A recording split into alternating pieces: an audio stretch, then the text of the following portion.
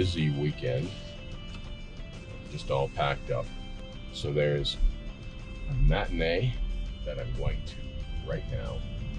And it's about 56 kilometers away. See how many miles that is. And after the matinee, excuse me, I've got to go all the way up to another, I don't know, 90 kilometers, uh, 60 miles or so. I'm not sure what that is, but I will put it right here. Anyhow, um, I'm hoping to try and capture some this weekend and just kind of give you a flavor of just how hectic uh, musicians weekend can be. So enjoy the video. Thanks for checking in. Make sure you subscribe, uh, like the videos, share the videos. Um, questions, comments, love to hear from you folks. Take care. We'll talk to you soon.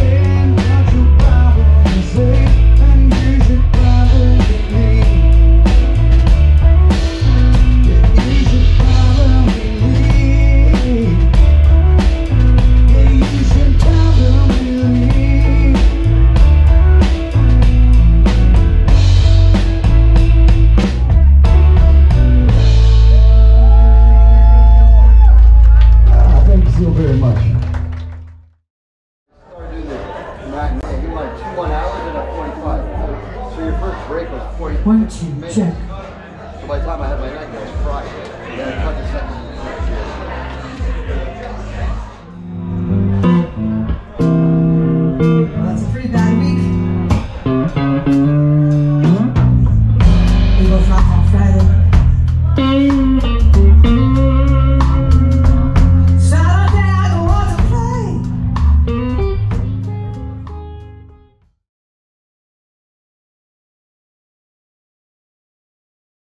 35 years.